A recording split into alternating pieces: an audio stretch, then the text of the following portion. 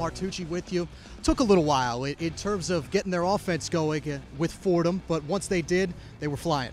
Yeah, it did. It was a slow start for the Fordham offense. Both offenses struggled to score, but once the game started to find its rhythm, so did the Fordham offense. Michael D- Nebrich, his wide receivers. No Sam Ajala. I think that was the big surprise. No Ajala on the outside.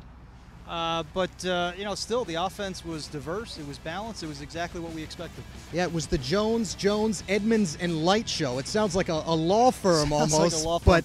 but uh, a lot of different receivers getting involved, and we saw the the dynamic of this Fordham offense. Yeah, and, and really, it, it's a case of pick your poison. Uh, where do you go to stop the Fordham offense when you have Chase Edmonds out of the backfield, when you have all of those skilled receivers, and then Michael Nebrich? So, you know, again, it was what we expected. A slow start, but in the end of the day, 45 points for Fordham, and a very impressive uh, effort, not just for the offense, but for the defense as well.